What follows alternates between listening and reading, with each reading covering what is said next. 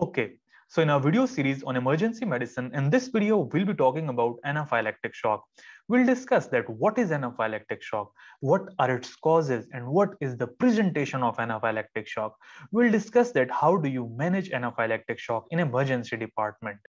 First of all, what is anaphylactic shock?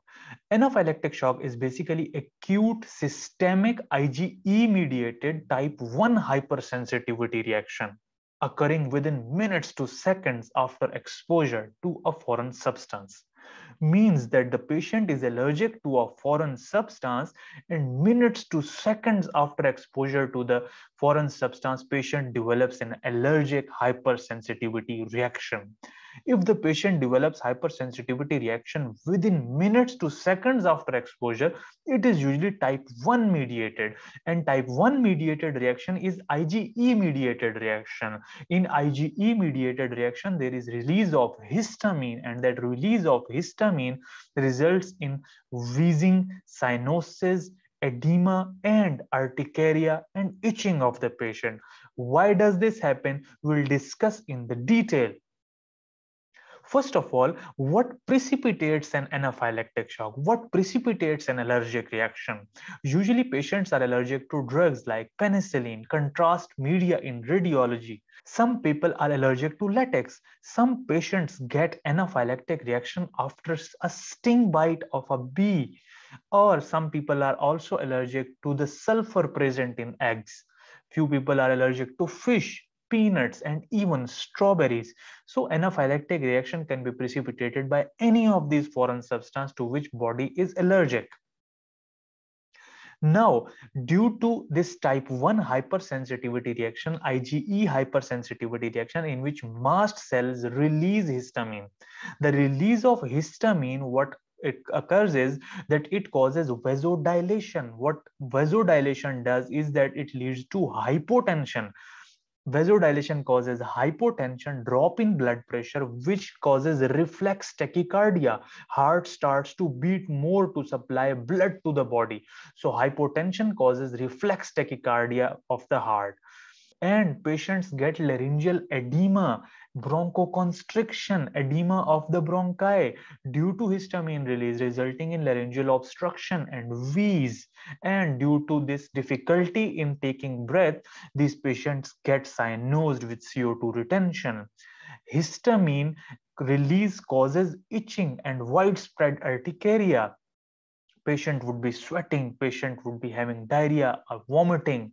And due to vasodilation, there will be dilation of the vessels, which re results in erythema of the body, red change in the body, urticaria, edema of the lips, eyelids, tongue, larynx. The most important thing is the protection of the airway. Since these patients develop laryngeal obstruction wheezes, bronchoconstriction that can cause a life-threatening attack. So protecting the airway is the highest priority. Coming to the treatment of anaphylactic shock, always approach the patient with ABC approach always protect the airway, secure the airway. These patients might even need intubation because of the obstruction, laryngeal edema. These patients might even need a, a respiratory support. So intubate if the respiratory depression is imminent. Give 100% oxygen and remove the cause. If there is an evident cause to which patient got allergic reaction, remove the patient from the that uh, cause and raise the patient's feet so that more blood flow gets towards the brain since the patient's vessels are vasodilated and you give adrenaline IM 0.5 mg and you repeat it every five minutes if needed. If the patient does not get better, you repeat it. What adrenaline does is that adrenaline causes vasoconstriction and combats the hypotension. What adrenaline does is that it causes bronchodilation. Remember that it's the adrenaline, epinephrine that causes bronchodilation. Therefore, adrenaline is used in this. Norepinephrine or norpine does not cause bronchodilation. Therefore, norpine is not given. Adrenaline is given because adrenaline causes bronchodilation. You secure the IV access and you give chlorpheniramine 10 mg IV. Chlorpheniramine is basically an antihistamine. It antagonizes the action of histamine and reduces the allergic reaction, reduces the urticaria, reduces the vasodilation and you also give hydrocortisone 200 mg iv hydrocortisone is a steroid and steroid suppresses the immune system. It suppresses the immune response in this, this hypersensitivity reaction you give fluids you give 0.9% saline to support the blood pressure. Since this patient is getting into shock this patient will be having hypotension. You give fluids to the patient. And if there is wheeze and you suspect asthma that that patient has an allergic reaction and patient has developed asthma to a, uh, to a certain agent certain allergen you treat asthma accordingly. How to treat asthma? I have talked about treatment of asthma in detail in my video on asthma management for the treatment of asthma, you give short-acting beta agonist, salbutamol, albuterol.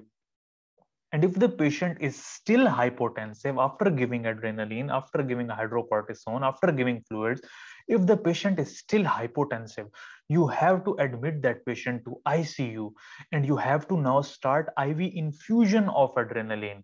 IV infusion of adrenaline will act on the vessels and cause vasoconstriction and control the blood pressure.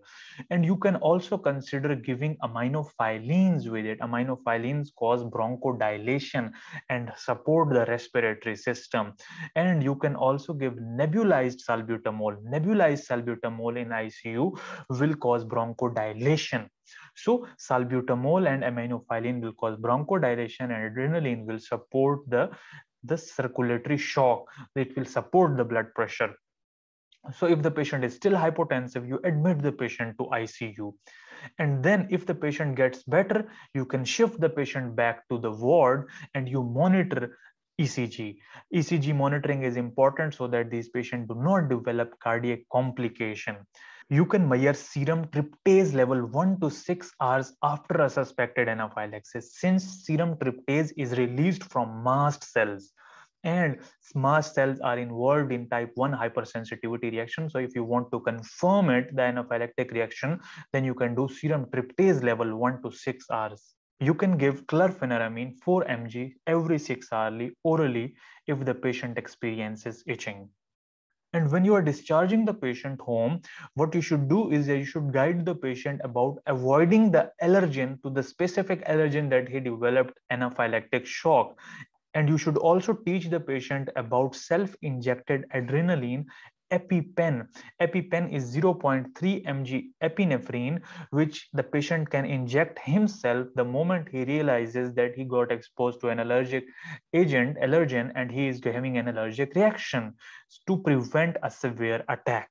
And if allergen is unknown, then before discharging, you should go for a skin prick test to identify the allergens to which the patient is allergic. An important point I want to mention here that if the patient is already on beta blockers, if the patient was taking a treatment for panic attacks or anxiety attacks, or if the patient was already on beta blocker for Graves disease or any other indication for which the patient has been chronically on beta blockers, in that patient, adrenaline won't work. Since that patient has taken a, a, beta blocker and that beta blocker has blocked the receptors where the adrenaline acts. So by giving adrenaline at, in such patients, you won't be able to reverse the signs and symptoms of anaphylactic shock. In such patients, you should consider giving IV salbutamol in place of adrenaline so that salbutamol causes bronchodilation and protects them from respiratory arrest since the respiratory arrest is the most dangerous complication of an anaphylactic shock. In summary, we talked about what is anaphylactic reaction, release of histamine causes it, and its presentation.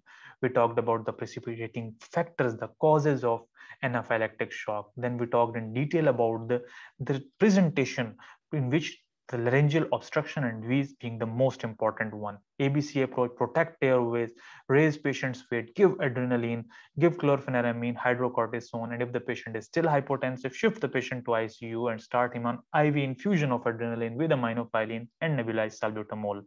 Then you can teach the patient about self-injected EpiPen when you are discharging the patient.